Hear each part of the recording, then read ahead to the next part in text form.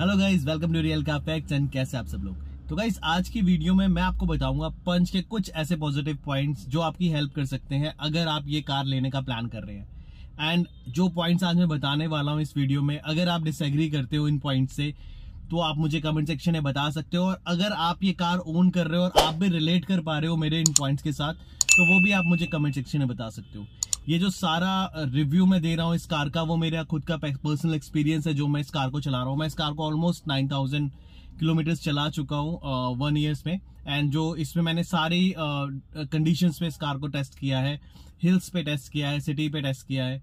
तो ऑलमोस्ट सारी कंडीशन में मैं इस कार को टेस्ट कर चुका हूँ। और अगर आप भी ये कार ओन कर रहे हो तो ज़रूर आप मेरे पॉइंट से रिलेट करोगे और एग्री करोगे मेरे पॉइंट्स के साथ। तो गाइस आज मैं आपको बताता हूँ पंच के कुछ पॉजिटिव पॉइंट्स अगर आप प्लान कर रहे हो इस कार का लेने का तो हो सकता है ये पॉइंट्स आपके लिए जानना ज़रूरी हो। तो बात करें कार के फ़र्स्ट पॉजिटिव पॉइंट की एंड इस पॉइंट से हम सब वाकिफ है। तो गाइस पंच जो सेफ्टी आपको ऑफ़र करती है इस सेगमेंट uh, में वो अनमैचेबल है and this is the car जो काफ़ी टाइम से one of the safest car रही थी एंड इसने सेगमेंट में entry he one of the safest car करके करी थी। तो सेफ्टी इस कार का पहला पॉजिटिव पॉइंट है एंड आई गेस हमारे इस टाइम पे जितने कंज्यूमर है वो सेफ्टी को ज़्यादा प्रेफरेंस दे रहे हैं। रादर देन माइलेज परफॉर्मेंस तो अगर आपका भी सेफ्टी uh, अगर फ़र्स्ट प्रेफरेंस है तो आप डेफिनेटली इस कार की तरफ़ जा सकते हो। ये इसका एक पहला पॉजिटिव पॉइंट है।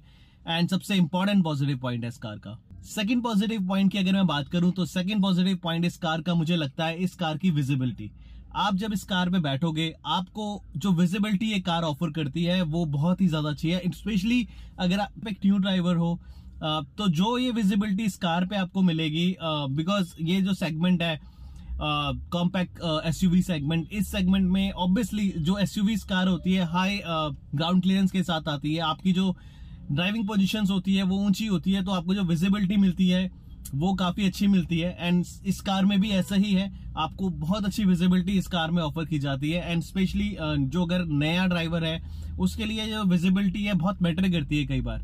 तो अच्छी विजिबिलिटी है इस कार में एंड ये भी इसका एक पॉजिटिव पॉइंट है। बात करूँ इसके थर्ड पॉजिटिव पॉइंट की तो इसका थर्ड पॉजिटिव पॉइंट है इसकी ग्राउंड क्लियरेंस आजकल जैसी आपने इंडियन रोड कंडीशंस देखी होंगी, आजकल यार रोड में आप चलते हो रोड कम स्पीड ब्रेकर ज़्यादा आपको मिलेंगे। कहीं जगह ऐसी कंडीशंस आती हैं कि रोड्स ही नहीं होती। तो इंडियन रोड कंडीशन के अकॉर्डिंग अगर मैं बात करूँ तो इस टाइम जो डिमांड जो चल रही है कंज्यूमर की, हर लोग चाहते हैं कि उनके पास एक अच्छी ग्राउंड क्लियरेंस वाली कार हो एंड इस कार में आपको वो ग्राउंड क्लियरेंस ऑफ़र की जाती है। तो अगर आप एक अच्छी ग्राउंड क्लियरेंस वाली कार ढूंढ रहे हो और आपका आधा ट्रेवल ऐसी जगहों पे होता है जहाँ पे रोड्स अच्छी नहीं है, या आपके जहाँ पे आप रह रहे हो, वहाँ स्पीड ब्रेकर्स बहुत ज़्यादा हैं रोड्स की कंडीशन अच्छी नहीं है तो ये कार एक अच्छा ऑप्शन हो सकती है आपके लिए बिकॉज़ ये जो कार ग्राउंड क्लियरेंस लेके आती है इस सेगमेंट में, बहुत अच्छा है। एंड इसकी ग्राउंड क्लियरेंस आपको काफ़ी हेल्प करती है खराब रोड कंडीशन पे चलाने में। बात करें इसके नेक्स्ट पॉजिटिव पॉइंट की तो वो है इस कार की स्टेबिलिटी एंड हैंडलिंग इस कार में स्टेबिलिटी एंड हैंडलिंग बहुत ही ज़बरदस्त दी गई है, और आप वो फील करोगे जब आप इस कार को हाईवे पे चलाओगे। हाईवे पे जो कॉन्फिडेंस ये कार आपको देती है आई डोंट थिंक सो इस सेगमेंट में कोई और कार आपको ऑफ़र कर पाएगी। ऊँची ग्राउंड क्लियरेंस होने के बाद भी इस कार में कोई बॉडी रोल नहीं है एंड बहुत अच्छी स्टेबिलिटी प्रोवाइड करती है ये आपको हाईवे पे। एंड कहीं से भी ये आपको ऐसा फील नहीं होने देगी कि कार आपके कंट्रोल से बाहर जा रही है। बहुत ही स्टेबल और बहुत ही अच्छी हैंडलिंग है इस कार की। बात करें नेक्स्ट पॉजिटिव पॉइंट की तो वो है इस कार का एसी हो सकता है कई लोग मेरी बातों से डिसएग्री करें बट मेरा पर्सनल एक्सपीरियंस बता रहा है, इस कार का एसी काफ़ी इफ़ेक्टिव है। बिकॉज़ यार मैंने इस सेगमेंट में और कार्स भी चलाई हैं। मैं और ब्रांड से भी अगर इसको कंपेयर करूँ तो इसका एसी मुझे काफ़ी इफ़ेक्टिव लगता है। एंड मुझे एसी से रिलेटेड अभी तक कोई इशू नहीं आया है इस कार पे। इस कार का एसी अभी तक मैं इसको 9000 किलोमीटर चला चुका हूँ, और मुझे अभी तक एसी से रिलेटेड कोई भी कंप्लेन नहीं आई है इस कार में। तो एसी मेरे लिए तो इस कार का एक पॉजिटिव पॉइंट है। तो गाइज़ ये तो थे कुछ इसके पॉजिटिव पॉइंट्स अब बात करते हैं कुछ ऐसे पॉइंट्स की जिसको लेके काफ़ी कंफ्यूज रहते हैं लोग एंड काफ़ी क्वेश्चंस आते हैं इस कार को लेके। वो है इसके इंजन और इसकी माइलेज को लेके। सबसे ज़्यादा क्वेरीज इसी सेक्शन में आती है कि इसका इंजन कैसा है और इसकी माइलेज कैसी है। मैं अपने पर्सनल एक्सपीरियंस से बता रहा हूँ एंड uh, जितना भी मैंने इस कार को ड्राइव किया उसके बेसिस में आपको बताता हूँ। मैंने भी कई बार ये अपनी प्रीवियस वीडियोस में भी बताया है और मैं अभी भी उस पॉइंट पे स्टिक करूँगा। कि इसका इंजन थोड़ा सा अंडर पावर आपको फील होगा।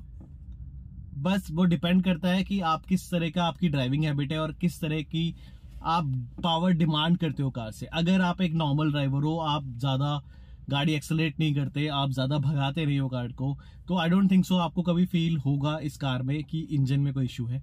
बट हाँ अगर आपको कभी आपको हाईवेज पे रन ज़्यादा होता है स्पेशली अब मैं आप आप बोलोगे यार हाईवेज पे हमने इतना चलाया है इतना चलाया स्पेशली मैं हिल्स की बात कर रहा हूँ गाइज़ अगर आपने कभी इसको हिल्स पे ड्राइव किया होगा तो आपको फील होगा कि कई बार ये कार आपको अंडर पावर लगती है। मैंने इस कार को 9000 किलोमीटर चलाया जिसमें मोस्टली रनिंग जो है वो हाईवेज पे रही है। एंड हाईवेज वो भी हिल्स पे। बिकॉज़ uh, हमारा हिल्स पे आना जाना ज़्यादा रहता है तो जो भी इस कार की ड्राइविंग रही है जो भी किलोमीटर्स ये रन किए हैं तो मेजोरिटी ऑफ़ किलोमीटर्स मैंने इसको हिल्स पे रन किया है। तो उस बेसिस पे मैं आपको बता रहा हूँ। और अगर आप में से कोई भी इस कार को हिल्स पे चला रहा है तो वो भी मेरी बात से रिलेट कर पाएगा कि ओवरटेक के करते समय हिल्स पे स्पेशली आपको लगेगा कि कार में थोड़ी पावर की कमी है। बट ऐसा भी नहीं है कि कार बिल्कुल ही नहीं चल रही है, बिल्कुल दब जाती है या बिल्कुल ही पावर नहीं है। ऐसा नहीं है बट हाँ थोड़ा बहुत पावर की कमी आपको फील होगी अगर आप इसको हिल्स पे चला रहे हो। And under and specially overtake करते समय आपको वो कमी फील होगी। एंड अगर आप मेरी बात से रिलेट कर पा रहे हो तो मुझे कमेंट सेक्शन में प्लीज़ बताइए। तो ये एक पॉइंट है uh, जो मुझे फील होता है। सेकेंड पॉइंट जो इस कार में लोग क्वेश्चन ज़्यादा रहता है लोगों का माइलेज का। देखो यार, मैं पर्सनली बताऊँ, कई लोग बोलते हैं कि कार में माइलेज नहीं है, कार में माइलेज नहीं है। मैंने इस कार को जितना चलाया है, आज तक मेरे को जो कार ने माइलेज दी है, अगर मैं ओवरऑल एवरेज की बात करूँ, मुझे इसमें अराउंड जितने किलोमीटर मैंने रन किया है 15 टू 16 की माइलेज मुझे मिली है। सिटी की बात करूँ, अगर आप हाई ट्रैफ़िक पे चलते हो, आपकी ट्रैफ़िक कंडीशंस बहुत ज़्यादा है सिटी पे तो आपको ये कार 12 टू 14 की एवरेज देगी। और ये कार क्या यार, आप मेजोरिटी ऑफ़ कार्स अगर आप देखोगे अलग अलग ब्रांड्स में भी देखोगे तो आपको इतनी ही एवरेज देती है अगर कुछ स्पेसिफिक ब्रांड्स को हटा दो। बिकॉज़ यार आपको एक तरह से एक सेफ्टी भी तो इस कार में ऑफ़र की जा रही है, अगर आप उससे कंपेयर करोगे बाकी ब्रांड्स के साथ तो फिर यार एक सेफ्टी भी तो एक है ना, एक सेफ्टी भी तो आपको चाहिए तो एक सेफ्टी के साथ अगर ये मुझे 12 या 14 की एवरेज दे रही है सिटी में ज़्यादा ट्रैफ़िक में तो आई डोंट थिंक सो कोई बुरा है। बात करें हाईवेज की, अगर आप इसको हाईवेज पे चलाओ, आपकी सारी कंप्लेंट दूर हो जाएगी माइलेज को लेके। हाईवेज पे ये कार आपको 20 प्लस की माइलेज दे देती है। तो इस माइलेज को लेके पर्सनली मुझे कभी इस कार से कंसर्न नहीं रहा। मेरे को ये ऑन एवरेज ये कार 15 16 की माइलेज दे रही है सिटी एंड हाईवेज मिला के। तो मुझे नहीं लगता, मुझे कोई ऐसा कंसर्न नहीं है। इनफैक्ट सिटीज़ में भी अगर नॉर्मल सिटी ट्रैफ़िक कंडीशन हैं आपकी तो ये आपको इजीली 14 टू 15 की माइलेज देती है। और जिस सेफ्टी रेटिंग के साथ ये आती है, अगर ये मुझे 14 15 की माइलेज भी दे रही है तो मुझे कोई कंसर्न नहीं है इसकी माइलेज को लेके। And I don't think so कि आप में से जो भी लोग इसको चला रहे हैं अगर उसको ढंग अच्छी तरीके से चलाओगे तो आई डोंट थिंक सो आपको भी माइलेज को लेके कभी कंसर्न होगा इस कार पे। एंड uh, ये वीडियो ज़्यादा लंबी हो रही है तो इस वीडियोस में मैं इतने पॉइंट्स मैंने कवर किए हैं इसके पॉजिटिव पॉइंट्स मैं आपसे ऑलरेडी डिस्कस कर चुका हूँ। बट ऐसा नहीं है कि हर कार में पॉजिटिव होते हैं कुछ कार में नेगेटिव भी होते हैं। तो मैं नेक्स्ट वीडियो में आपके साथ इसके नेगेटिव पॉइंट्स भी ज़रूर शेयर करूँगा। बिकॉज़ uh, हर कार परफेक्ट नहीं है यार। कार में आपको पॉजिटिव एंड नेगेटिव दोनों मिलेंगे। तो इस कार के क्या नेगेटिव पॉइंट्स हैं मैं आपसे नेक्स्ट वीडियो में डिस्कस करता हूँ। इस वीडियो में इतना ही। आपका जो सपोर्ट मुझे मिल रहा है उसके लिए thank you so much guys इसी तरह अपना सपोर्ट हमारे साथ बनाए रखें एंड uh, मिलता हूँ आपसे नेक्स्ट वीडियो में। तब तक के लिए बाय